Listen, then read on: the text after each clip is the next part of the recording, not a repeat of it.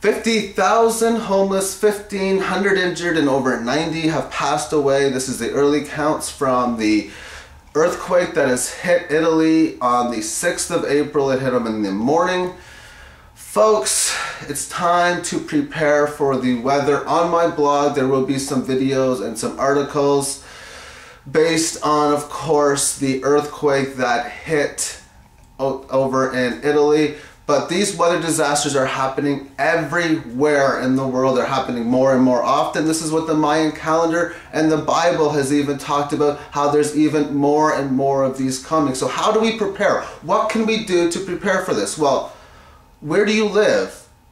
Where do you live? And then think to yourself, okay, what type of bad weather happens here? And if extra bad weather get, comes here, this weather effect is going to come more frequently and more intensity. So put those two together and what does that mean? What can I personally do to protect my house? Is it possible if I live in an area in which has more natural disasters, can I move to an area in the world that has less natural disasters?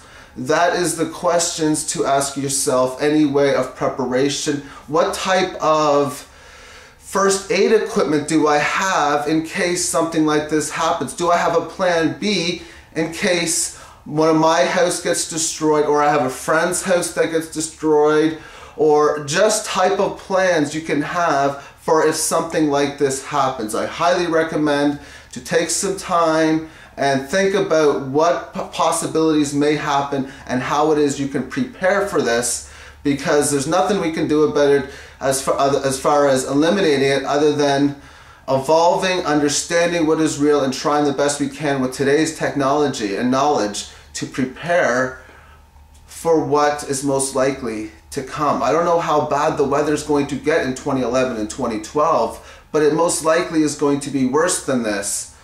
And there still is time to prepare because it's either you prepare or you don't prepare. Please. Uh, Thank you all for watching this and remember to uh, check out the other videos and links on my blog. Peace everyone.